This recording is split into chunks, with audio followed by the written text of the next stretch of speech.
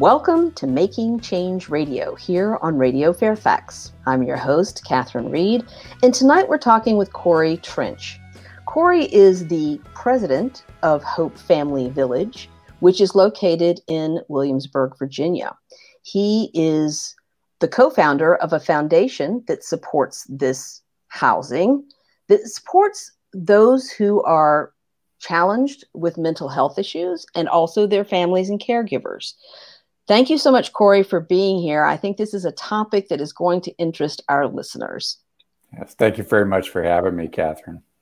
So we ended up meeting because the League of Women Voters asked us to be on a panel this past Saturday about behavioral health issues. And it was very intriguing that the League of Women Voters has an interest and has been advocating for behavioral health issues, but also they want to take a deeper interest in in practical ways in which they can advocate for those living with mental illness all across the Commonwealth of Virginia. And so you were one of the panelists, I was the moderator, and we had Senator Monty Mason on. And I want you to talk a little bit later in the show about how Senator Mason has factored into your efforts. Great. But let's start, but let's start with your story, which is how you came to be a man who started a village. That's a good way to introduce it. Well, I didn't know that mental illness was a problem.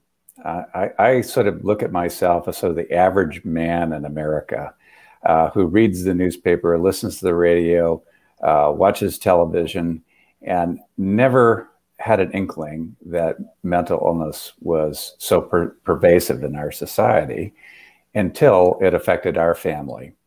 And I suspect with many illnesses, uh, we become very involved as individuals and as family when it affects us personally. And 10 years ago, my son, my youngest son of three sons, I have three sons, uh, was a senior in college, ready to become an engineer. And he had a psychotic break. And part of his psychotic break, uh, we, and we really didn't even know it was a psychotic break. I mean, you find these things out months and months and months later that this is what was going on. Um, he uh, he tried to commit suicide, and I think this is something that we're we're we're, reluctant to talk about, but it, it, happens in our society, and I think with COVID, it's become a lot more uh, known. Uh, this is going on with extreme isolation, but because of what happened to him, uh, I probably spent the first two or three years meandering around trying to find out what what was mental illness, how do you interact with the uh, mental health system to get support for a loved one, really trying to understand what his future might look like. And in that process, I ran into an organization called the National Alliance on Mental Illness, NAMI. And it was really the beginning of my realization, and it's very important uh, for all caregivers to realize that they're not alone. And when I found out that I was not alone, it wasn't very long before I realized that I was going to become an advocate for other people not just my son. And um, I think uh, this was this was kind of a key thing of me becoming a man who uh, was going to start a village. As I, I, realized that there were many people uh, like me that were caregivers that were seeking solutions for their sons and daughters. And uh, you know, and our idea was, well, the caregivers need to to step forward and and be involved in in seeking that solution. So that's that's really how I got in, involved and was motivated to to start doing something.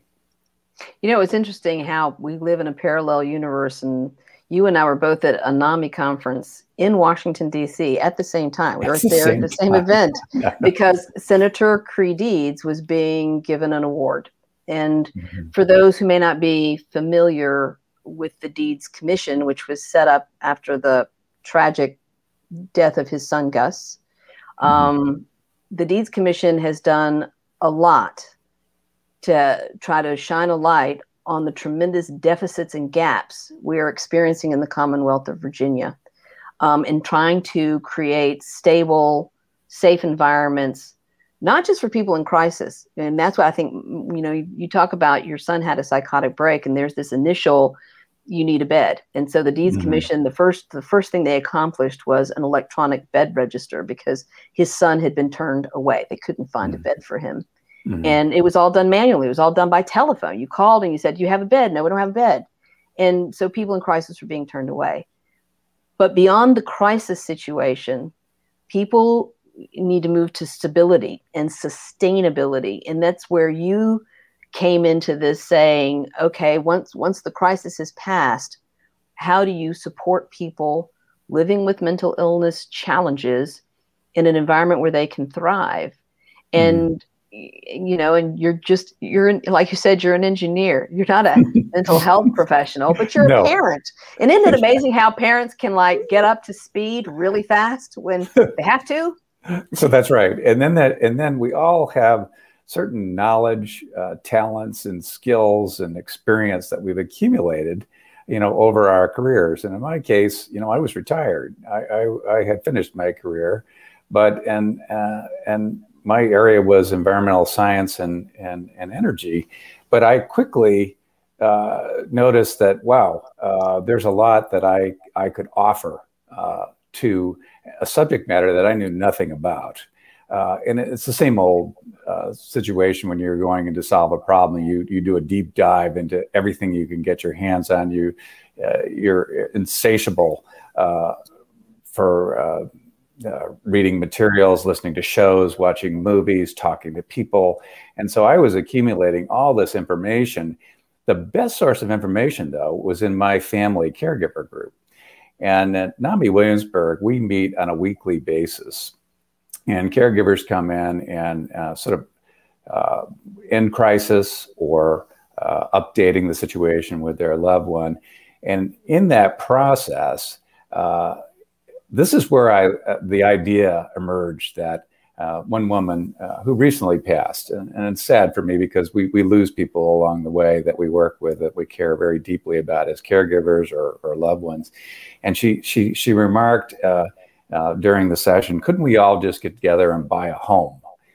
And and that became the beginning of well, you know, what a naive thing to do. We're all going to buy a home and we're going to you know ship our kids to this and they're going to live together and and we're going to go on living living our lives happily ever after and so will they you know well but what a brilliant uh, comment though because and this is this is something that you were saying earlier we were talking about in our panel is every community every neighborhood has someone there that lives with a mental illness it can be of varying degrees and, and, it's in our communities. So we are the source of the solution.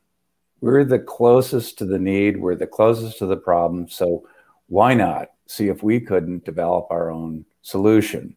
And so that idea of a home for me got expanded to somebody said, well, you know, we have this Eastern state surplus property that they've been trying to sell. Why are they not using this for behavioral health? And, and some of my fellow um, uh, support group members would look at me and say, Corey, you've got to do something about this. Like, I'm going to go into the state and I'm going to get a sliver of property and we're going to build a project. Well, so we thought about this for a second. We thought, okay, so we're we have a piece of property that's available. Um, what will we do with it? And uh, we started to cobble together a vision, and the vision looked something like this, and it was addressing all the needs of our loved ones. One of them was access to care. Uh, this is what uh, loved ones and parents want in the worst kind of way. Universally, they want access to somebody who's going to care about them and provide them the services they need. Surprisingly, and maybe not so, they want to work just like anybody else. They want to realize value and meaning in their life, and that's associated with a job. And many of our people would start work and they'd quit within a day why? Why wasn't it working out? What about the work wasn't good? So we thought that our property should have access to care.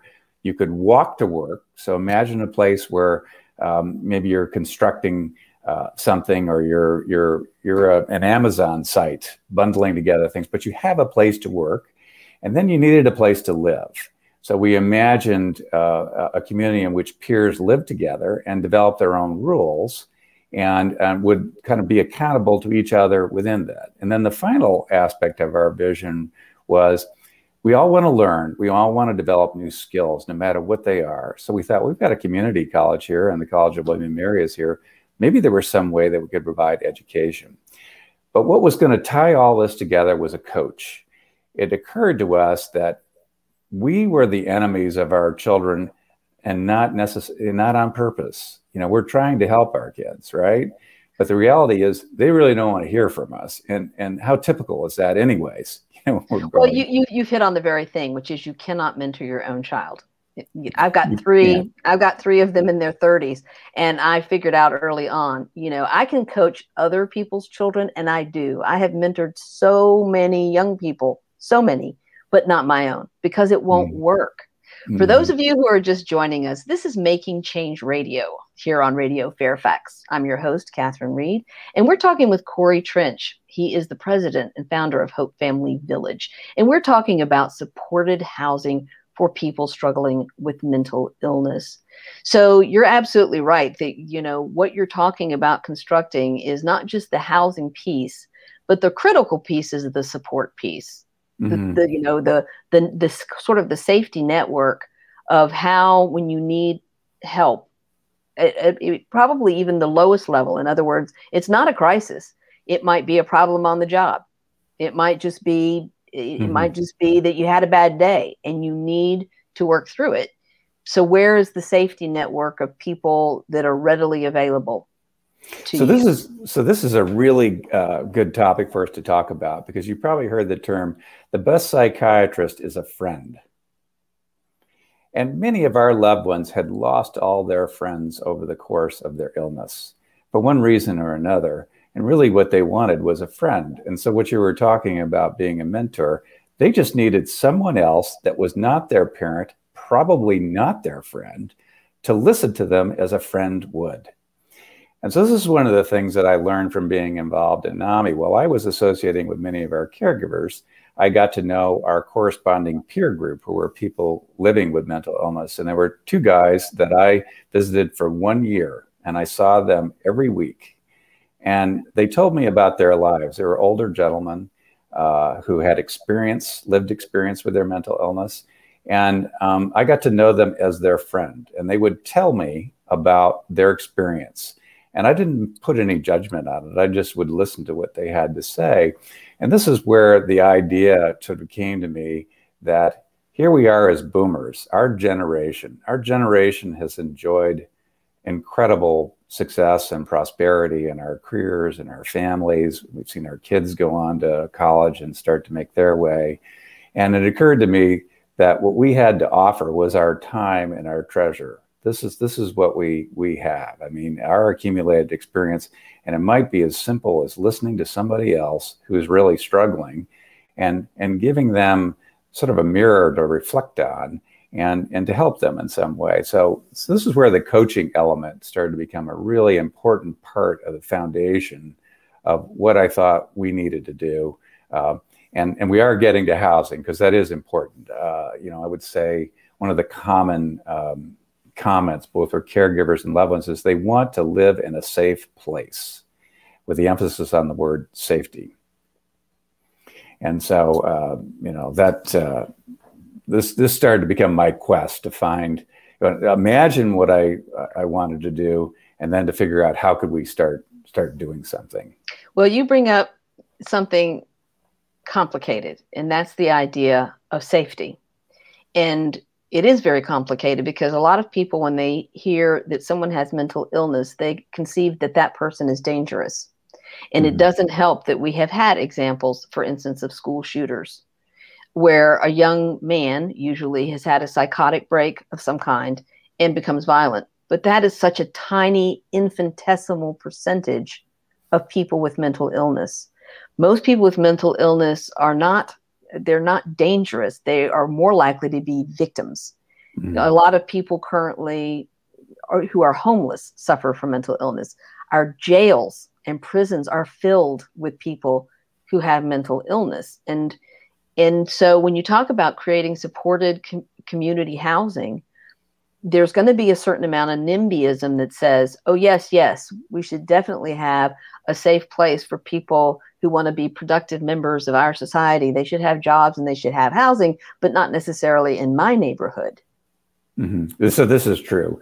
So uh, we had a, a, case here in Williamsburg, and it was very visible uh, an organization was going to uh, rent a home in right in the heart of the city uh, for a group home, and there were going to be eight people moving from uh, Eastern State Hospital into this home. They were going to have 24/7 care, and when the neighborhood found out about it, they just they were in an uproar, um, and just the idea of that would be revolting to those of us that are caregivers and know that the people that we work with that it's the case that they're more afraid of society than harmful to society. It's the exact opposite, as you were saying.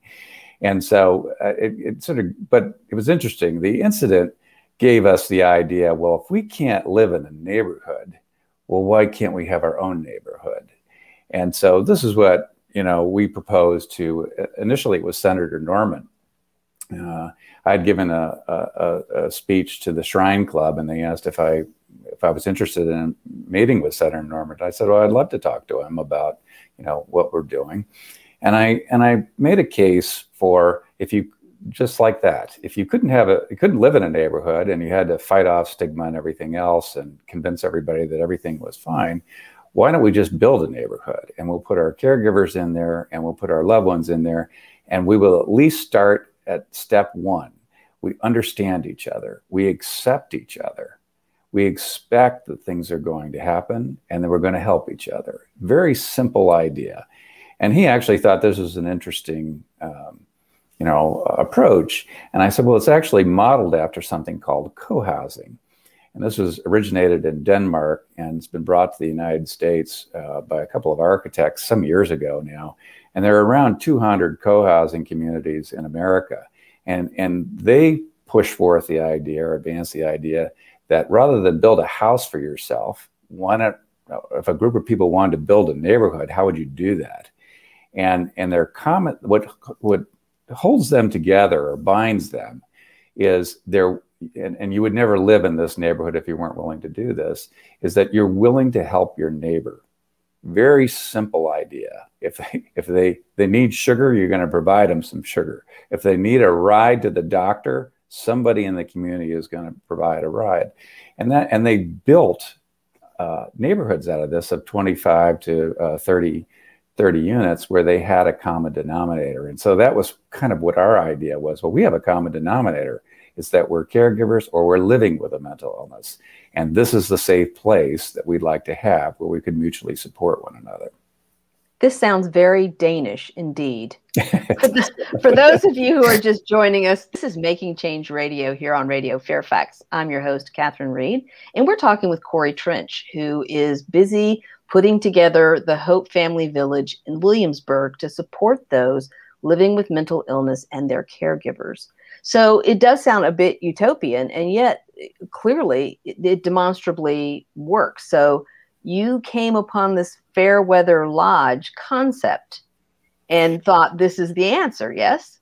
Well, so I had my vision. I knew about co-housing previously. I, I just thought it was a, a, fantastic idea, and I had visited communities. And actually, my son came to visit me before he with me uh, a, a, community in New Hampshire before he had his break, and, and we both thought, well, hey, this is kind of a neat place to live.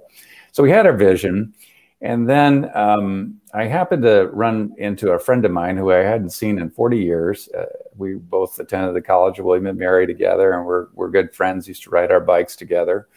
And I was laying this vision out to him, knowing that he had graduated in, in family therapy uh, from the college. And uh, he said, Well, it's already been done. And, uh, and, and as with all things, we have a hard time finding people that are just like us out there. The internet is a wonderful tool, but it's very difficult. It's still very difficult to find people that are, that are working on the same problems we are. And I said, Well, what do you mean by this? And uh, he said, Well, when I graduated uh, with my degree, I moved to Austin, Texas, and I became a coordinator for something called a Fairweather Lodge. And he says, I don't know whether the organization's still around or not because he had moved on in his career, but I'll send you some links and I'll see if I can accomplish an, an introduction. And uh, so he described, you know, basically what it was people living together in a house who were accountable to one another, made sure they were on their medications. Work was essential as far as, you know, what they, uh, they did. Uh, you had to work, you had to volunteer. Uh, they were mutually supportive. And so he made an introduction to me uh, about the same time that you were you and I were at the conference in, in Washington, D.C. And uh, I wound up going up to uh, visit an agency in uh, Pennsylvania and went around to uh, four Fairweather Lodges in a matter of two or three days. And I knew I'd found an answer. It's, it's not for everyone, but I realized that exactly what we were talking about is what uh, these folks were doing. You know, and it's interesting how you do, like, we were connected through the League of Women Voters. And so I didn't know who you were, and I'd never heard of Hope Family Village. But then as we have gotten to know each other, I introduced you to the Brain Foundation, mm-hmm. which has mm-hmm. also been doing this. Uh, Trudy Harsh is the founder. I interviewed her back in 2017. And basically, she is doing, she is another parent who mm-hmm. started Laura's houses, and they are still managing this housing that supports people living with mental illness. And so there's there's a model that Trudy just came up with on her own. Mm-hmm. And you know, and she put together volunteers. It's an all volunteer organization. She's yep. got a board of directors. She's got volunteer property manager. She's got collaborations with people who provide mental health services.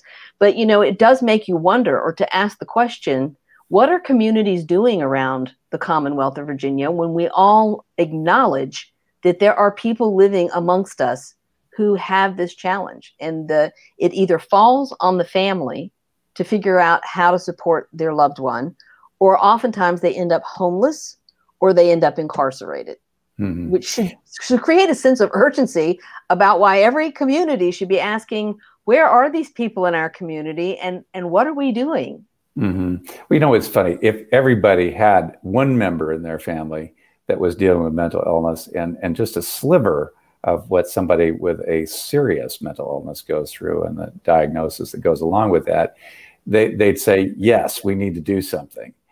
But because it, it doesn't hit them as hard, uh, you know, as a family or as an individual, we just don't think about it. And I think the other thing that we realized in, in our group here was that if we were going to wait for the government to come up with supportive housing in our community, we're going to be waiting a very long time. Uh, because the need is so great. And I think people have no idea what the numbers are of people that need a safe place to live, have loved ones that would like to work, and would like to have a friend. I mean, just very simple stuff. And uh, and so we were going to have to do something about it. But I think too often uh, we we look to our federal, our state, uh, even our local government as well. They've got to come up with a solution. And so what we determined was, and, and I listened to the interview with, with Trudy, and and and I, I sent out a note to my board directors. This is a, a person we need to make a road trip to visit with because she's she's ahead of us in some respects. You know, we might have the model of Fairweather Lodge, which she might be interested in, but it, it comes down to us to to think about what we might do and to work with possibly other organizations. So. Um, uh, I've been talking to churches, and churches are very involved with the homeless. And so, if they're working with the homeless, then they're also working with mental illness. So, locally uh, here, we have House of Mercy, and they've done a fantastic job of addressing both housing for the homeless and um, other care, case management, support services. So, we sort of found somebody that uh, would understand what we were doing. And we said, well, we, we have sort of an adaptation that we think might be useful to you. And I think if you start building what it is that you want to see, it's going to be a lot easier for our local government, our state government, or federal government to see, well, this looks like a cost effective mechanism for caring for people.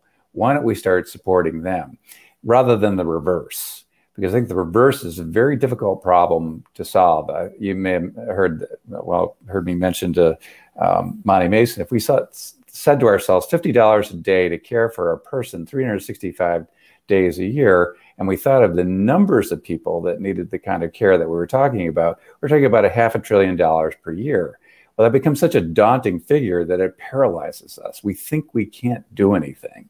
And i think this is one of the things that i've discovered that i've, I've shared with you and the panel is there was lots that we could do.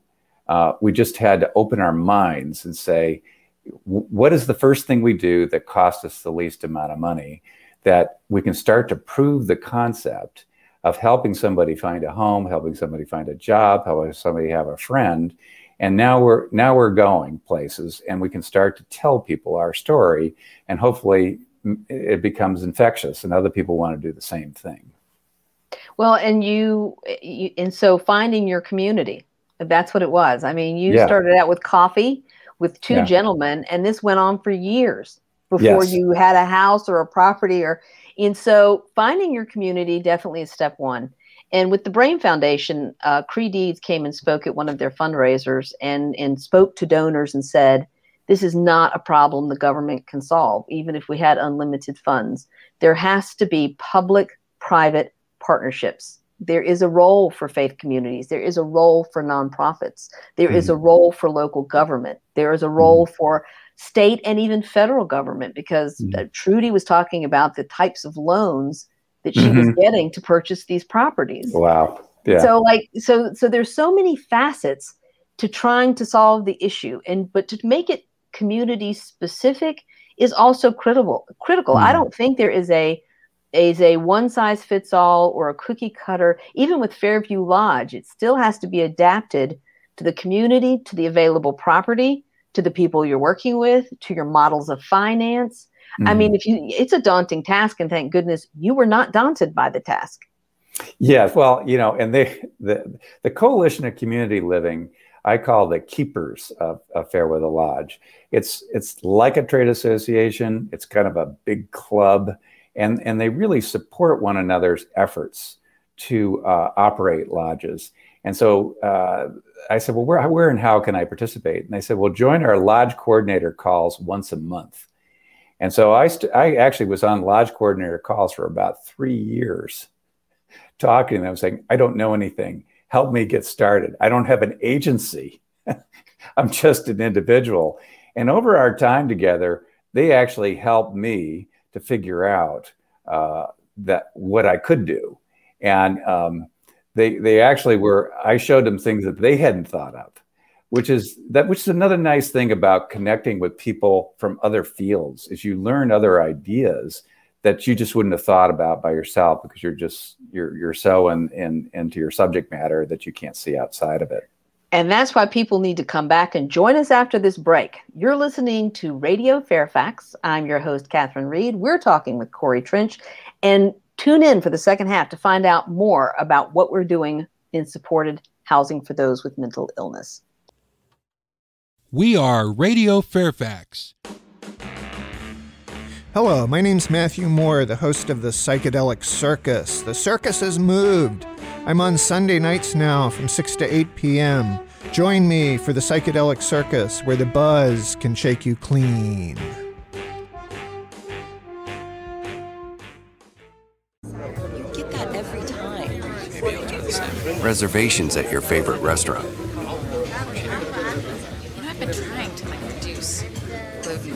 you eh, don't want to know why. Thanks so much for waiting. Your table's ready. Getting back to the moments we miss starts with getting informed. Ah, perfect. Thanks. Get the latest info about COVID 19 vaccines at getvaccineanswers.org. It's up to you. Brought to you by the Ad Council. She can stem, she can do more. Like build a rocket and watch it soar. Clean the oceans and make the world a better place. She can stem. Learn more at She Can STEM. A message brought to you by the Ad Council. Okay, man. this is your time. Maybe you didn't choose this, but you're here now. You're gonna go out there and be an all star caregiver. Cook, clean, be there emotionally and physically. You gotta dig deeper. Drive them to physical therapy, doctor's appointments, because that's what caregivers do. Don't give up. Show the world that you're tougher than tough. Caregiving is tougher than tough. Find the care guides you need at aarp.org slash caregiving. Brought to you by AARP and the Ad Council. Airplanes fly? What's in this box? What does this thing do? Kids are curious about everything, including guns. Learn how to store your gun securely and make your home safer at endfamilyfire.org. Brought to you by End Family Fire, Brady, and the Ad Council.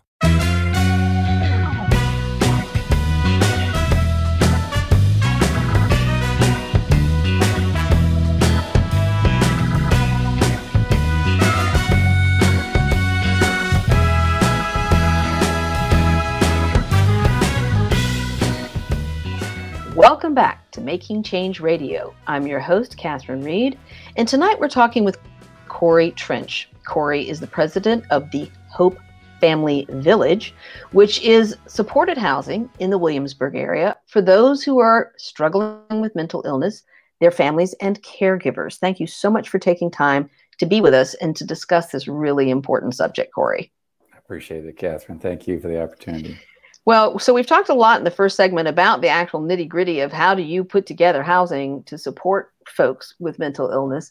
And we haven't spent a whole lot of time talking about the enormous number of people who end up homeless or end up incarcerated because there aren't enough support services to help them at a point at which they could be channeled into something like stable housing. Mm-hmm. So, you know, just, you know, just, you know, you were able to help your son. You're, you're, you had the resources, the mm-hmm. determination to do that. But a lot of, a lot of people struggling with mental illness do not have that family structure. Mm-hmm. And so they're kind of dependent on a community to come forward with mm-hmm. something mm-hmm. that helps to address how to get them on a path back mm-hmm. into the community. Mm-hmm. This is so true. And, uh, you know, when we were going to support group, uh, one, of, one of the things about uh, about uh, NAMI and, and what they're able to do is that people come from all walks of life to these um, these events. Um, we have people riding buses to come in uh, that, that, don't have the means to get there. Uh, we have people that are professors, uh, very accomplished people, and but they they talk about typically the common denominator is getting access to care, and that means can they get an appointment with their local CSB and get a, a case manager uh, to see them? And, and when will they get that appointment uh, to receive care? And I think that delay that you were talking about earlier with, with Creigh Deeds, that is a really tough problem to solve because there are simply not enough doctors, there are not enough therapists, uh, there are not enough services out there to, access. And it's just like we've fallen behind in that area. And so, if there's one thing that we need to do. And, and Monty Mason, uh, our, our senator, was talking about this on the panel, is that we need to encourage more youth to go into the profession of mental health. And I think uh, this generation coming up, um, I guess they call them the Zoomers, they're, they're very aware of mental health. Uh, they're very aware of anxiety, uh, these experiences, uh, maybe in a sense too, too aware of it. But that doesn't really matter because you've got to have uh, the ability to be open about your your situation and be able to access a professional to talk to, or at least be able to access another peer who's going through the same thing you are to have a conversation. And I think what Monty was talking about is really the need uh, to, to, be more encouraging of people going in the profession and supporting them. And that could be things like, you know, we, we certainly have given uh, loan forgiveness for people going into the teaching profession, you know, as an example. We actually talked to uh, Senator Norment about this when we made our pitch for, for Hope Family Village, is that we thought that uh, that should be part of this, and that what we would offer is if we're creating a village then we might have some students who are who can live for free in the village while they're they're studying to get their degree. Could we figure out some way of doing that? Just as a means of encouraging people to go into this very necessary profession. Well, and that's something that, that did come up too, and the lack of facilities and professionals specifically to work with children. So there are not enough juvenile psychiatric and professionals we talk about the lack of counselors in schools, public mm-hmm. schools. Mm-hmm. Um, the, there's one juvenile facility that houses juveniles in crisis. That's mm-hmm. not enough for the entire Commonwealth of Virginia. Some of us mm-hmm. got lucky in the lottery. I live in Fairfax County, and we have a tremendous number of resources here.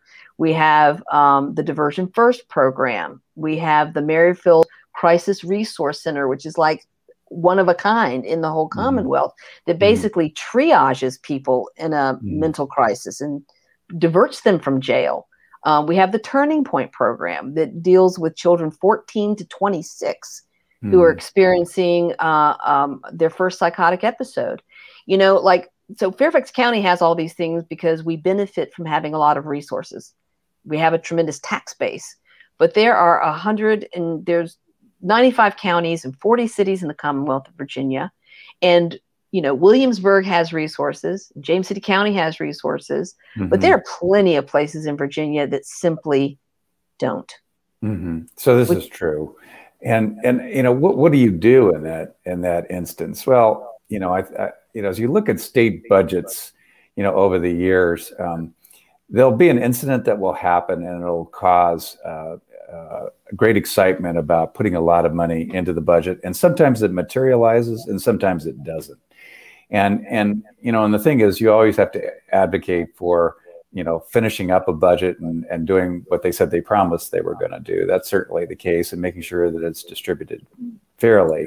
But I think in the short run, you know, I think what we've done, uh, and we do have access to resources, but you really don't need much to start.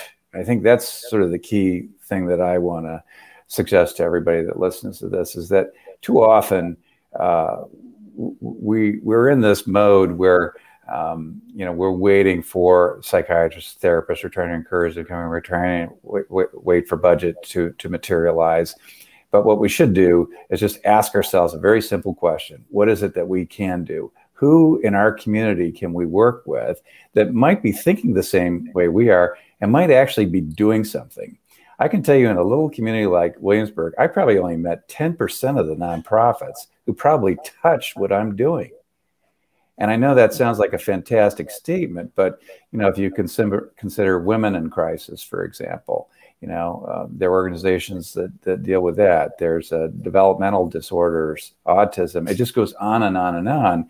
And we all have common needs. And I think the first thing to do is just become familiar with each other and, and recognize that we're all caregivers. And, and together we're a community of caregivers. And so once we know who, who we are, then we're in a position to say, you know, well, what can you do? What can you do? What can you do? And and then to start doing real projects. And I just want to say that uh, because you know I actually live right across from the College of William and Mary, and I graduated from here, and I've got to give them a lot of credit because we were really looking for, and that was a tremendous resource to us, uh, someone that would help us uh, do some serious research on options uh, that uh, we could employ. And their students were very willing and interested in, you know, in mental illness, and uh, and they gave back a lot of ideas. I'm just going to give you one simple idea. Uh, I I didn't have a house, you know, and Tr- Trudy in, in, the interview that you did with her, she, she's from the real estate profession, so she knew about housing. And I just looked at the rents in our area. I thought, there's no way we're going to be able to rent a house. But I was visiting with our Center of Entrepreneurship, and uh, and and the leader there said to me, he said, you know, try to think of some simple experiment that you could do that wouldn't cost you anything to test this idea out. And from that simple idea emerged the notion with a couple of peers that I knew was why don't we start meeting on Saturdays and having coffee, you know, for one hour and talking about what you want to accomplish with your goals and your career and what I want to accomplish in getting you a place to live and, and that led to two and a half years of discussions and getting to know one another and helping them find jobs and eventually finding a house. But and, started- and that's but but you point out something really important.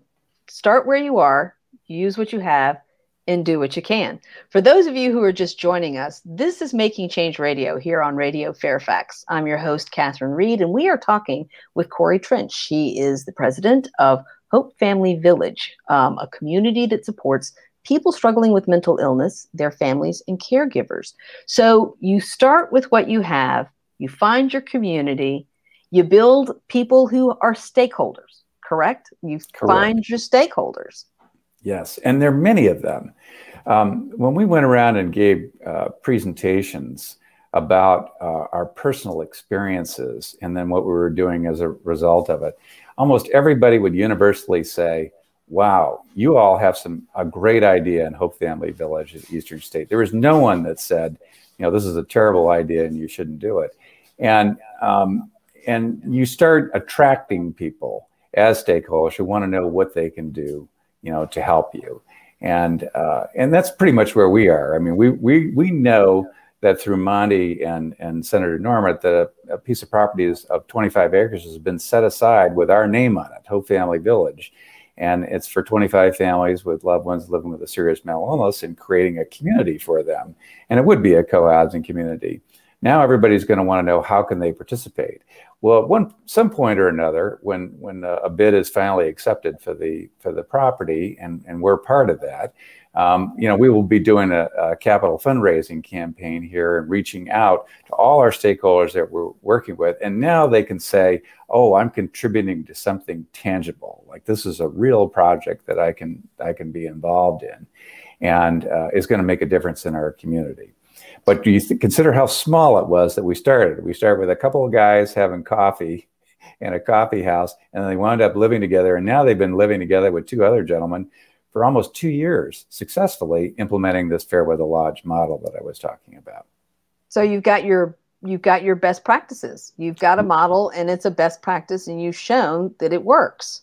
Absolutely. So you bring up something really important. The College of William and Mary has been an asset to you. Here in Fairfax, we have George Mason University, and there's a lot of communities that benefit from having a university close at hand for this very reason that students are interested in research, they're interested in solutions, they're young, they're entrepreneurial, they're innovative, and they've got the time and interest and passion to help. And they want to help. I, I do think young people really are invested in making the world a better place. That's what they want to do. You found the the Eastern State Property. You know, we here in Fairfax City, there's an affordable housing project that's coming together through Fairfax Presbyterian Church, who's giving part of their acreage to build 10 townhomes. Hmm. But they're le- but they're but they're um, leasing the land to this collaboration. And I'm like, you know, there's so many different ways it could be done, but you mm. kind of have to be innovative and you kind of have to use what you have at hand. So I would suggest too that you know, look, you know, people who have property that can look at this and say, how could we collaborate with community stakeholders to set aside property? That is one thing people can do all across Virginia. That just just starting to ask the questions. Who has something we need to make this work?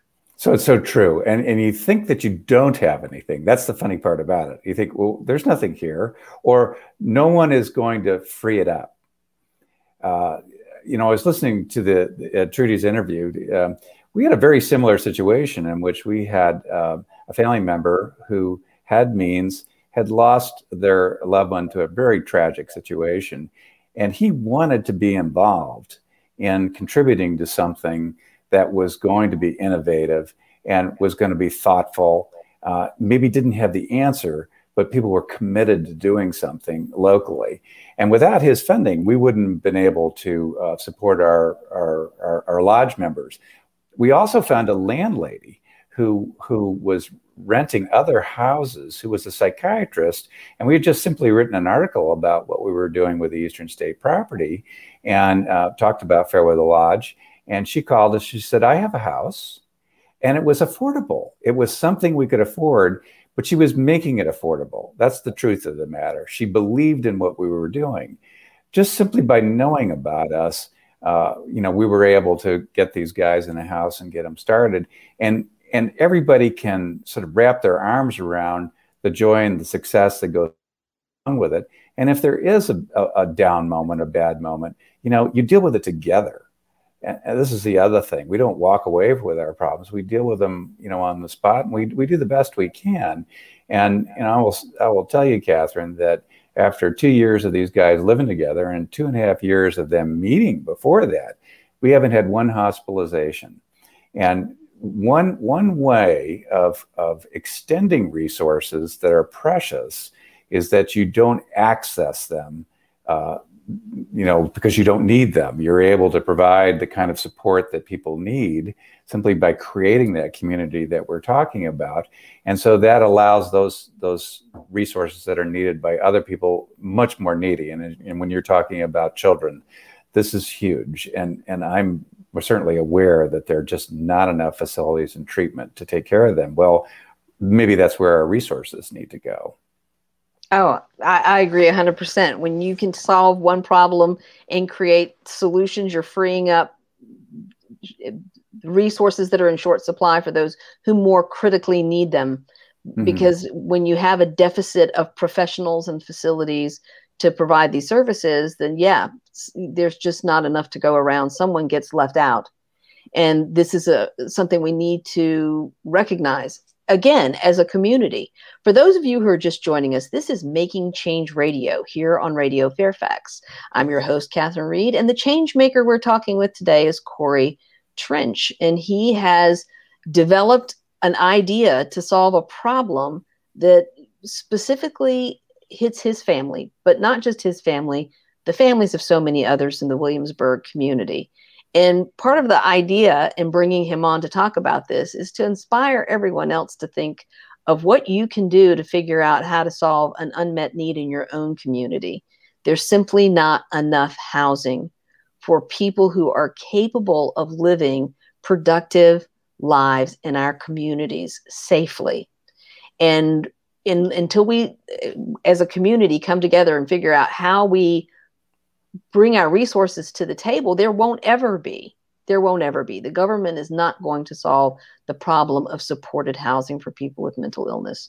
So, so Corey has taken the bull by the horns, and he's he's come up with a solution, and he's making it work. So moving forward, so you've got a capital campaign that you've got to undertake. You're working with your state legislator, Senator Monty Mason. You've spoken with Senator Norment, like you're you're you're you're kind of pulling the levers that you can in your local and state government. I would encourage people too to go to hopefamilyvillage.org. That is the website for Hope Family Village is hopefamilyvillage.org. Go there to see information. There's a blog there. There's a background story there. Um, but so tell me, you know, as you as you move forward, what are your kind of the next big challenges to get from where you are to where you want to be? So I think the big challenge for us is to figure out you know, how to grow Fairweather Lodge, sort of separate and apart from Hope Family Village. And we have, uh, you know, four, well, we've had between three and four males living in a house in a regular neighborhood together, successful, successfully. And we recently um, had a booth at a, uh, was a race or run for mental health. And we had a young woman who came up to us who was 31, and she said, you know, I've been living with depression uh, for the last 10 years and people don't understand. Are you going to have a house for women? And so uh, what was funny about it is we were just talking about that that we need to keep growing our model. And this is something that you know i, I want to talk you know with with trudy about and, and what she's done in northern virginia because you know we want to try to find another house you know find other people that would like to live together and i think you know that's sort of a prerequisite. You have to be willing to live with other people and to sort of develop, you know, somewhat of a reserve fund that makes it affordable for them to live there. Now, we're not using outside sources yet, um, other than just private donations. And so that's what we've done. We built a reserve fund for each house to try to keep our rents low. And, uh, and I work with the residents on, you know, if you were to leave our house and live on your own, this is what it would cost. So we try to get our rent up to something that they would be used to paying and, and teach them how to manage their, their finances. So that's one thing that we want to do. We want to grow Fairweather Lodge in our community. I'd really like to see other places in our state do exactly the same thing. And I, I recently advanced the notion that why don't we have 100 houses uh, in, in Virginia that do something similar to what we're doing? You know, I think as you said earlier, it's not, it doesn't have to be one model it, it has, but it has to be something. It has to be something where we're we're providing the housing that's needed. For our Hope Family Village uh, project, we we have been working with one developer in particular, but we understand that there are others that are interested in developing this 300 acres of property, and they've set aside 25 acres for us. And so one of the things we're doing is we're reaching out to families now who would be interested in, in living in our village. And we've got a newsletter that we just put out. We've got a, a list of people uh, some of them are, are outside our immediate area here, um, and because we know the need is is great. So we're going to be developing a constituency that's interested, you know, in helping us design and, and build this village. We'll probably retain uh, one of the top experts in, in co housing in the world, actually. And we've been talking to her about what we wanted to do. And she's just very intrigued our, our, adaptation of co housing to mental health care. So uh, we're going to be uh, accessing her expertise to help us, you know, work through uh, developing our community and figuring out, you know, what what it, what it should look like. And uh, we're going to be doing that. I expect sometime over the next six months to year. So it's it's coming up fast here. So one thing I think we need to address is the fact that m- many times we don't discuss these things because of the stigma around mental illness. It's not something people talk about. Somebody might have a loved one in their family struggling with mental illness and they do not share it. Even with colleagues, even with close mm-hmm. friends, they mm-hmm. don't talk about it. So it seems to me the first thing we have to do is is stop this nonsense that a mental illness is different from diabetes or heart disease because the fact of the matter is there is a higher rate of recovery for mental illness than there is for heart disease and diabetes actually. Mm-hmm. Mm-hmm. So we have to reorient the way people think about people with mental illness. They're not all dangerous. They are not all criminals and it is not a hopeless endeavor to work with people with mental illness because there is a chance that they will recover and move on to have lives that are, you know, giving something to the community in which we all live, that they have lives that that they aspire to live and that all of us can be part of making sure that there's a place in our communities for people who are trying to strive to get to that place. And the kind of housing you're talking about is part of that journey. It's not even necessarily a state, you know, it's not it's not the end game so much as there's a place for people to be when they need to be there. So uh, when uh, we first held a, a, workshop about Fairweather Lodge in, in Williamsburg in 2017, uh, Monty Mason came to that event, and and uh, we had a panel, and it was people that had been living in a Fairweather Lodge uh, and and the and their experience from from living together. We have people that are very accomplished in our society, uh, and I can think of one in particular that never lost his job with the Department of Transportation in Pennsylvania, even though he had been hospitalized for over six months, and and and then moved into a, a lodge for the next several years uh, to sort of get his life back.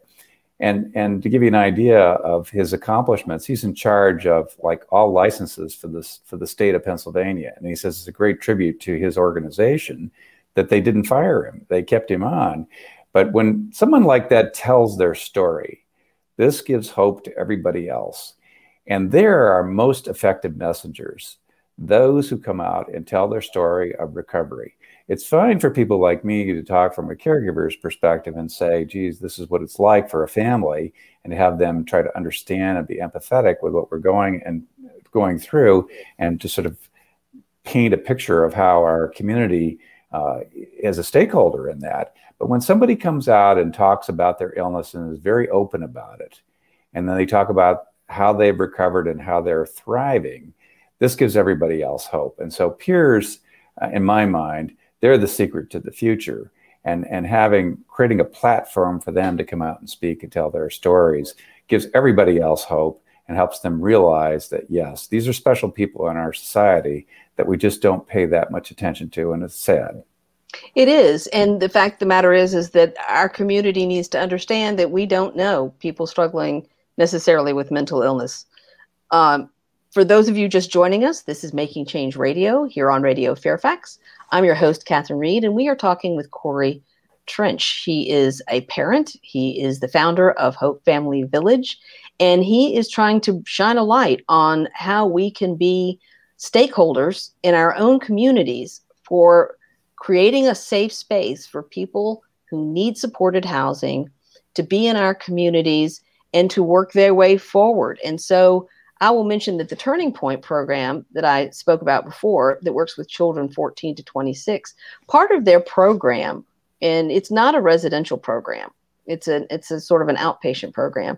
But one of the features of that program is they have professionals come and talk to those kids about their own struggles with mental illness in exactly the way you are talking about. Oh, they neat. are lawyers. They are medical doctors. They are professionals mm-hmm. of every every stripe, and they come and they talk to these young people to demonstrate to them that you can deal with your mental health issues just like you would deal with diabetes or high blood pressure, and you can go on to have a family, a spouse, a career, to be a mm. giving, contributing member of your society. But I think the larger community needs to hear that too, because I don't think the average person is hearing that either. I do not think we are hearing these stories of recovery and the and the wonderful things that, that that people contribute to our to our communities. Well, this is absolutely true, and why I'm grateful that uh, you're doing this interview with me, and, and you interview other people who are in the, are operating in the space because that's how we get our story out. Um, you you just can't get it from a newspaper. you, you can't get it from a, a, short story even. I would argue that it takes a documentary practically to really wrap your head around what's going on here, and um, and I would say this: the people that I have met that struggle with mental illness, and I count my son among them it takes a great deal of courage to continue to live. And this is a very important thing that I'm saying because uh, there is a purpose for their lives. And sometimes they just need to be shown very gently and helped to see what it is. And, and that's why we all need to be more aware of this. If we're wanting to avoid some sort of tragedy down the road that you know you were articulating earlier then we need to know and accept people that are different. And it's just again i see these things and i didn't before. I was the average man. I did not see this did you know i realized that there's just a tremendous value in our society that we've neglected and it's time to give them a voice and I and I think that's part of what I hope we're doing in our community. And yes, and that I was so delighted to meet you. I was so delighted that we were able to work on a panel together for the League of Women Voters, and I'm glad that I could take your message and bring it to a wider audience because because you come from an experience that maybe not all of our listeners have ever had in their lives. And yet, if we want communities where everyone can thrive, if we want to honor people for the unique individuals that they are, then this is what we need to do. We need to be a stakeholder. We need to be part of the solution in our own communities. Thank you so much, Corey Trench. Thank you to our listeners. This has been Making Change Radio every Thursday night at 9 p.m. here on Radio Fairfax.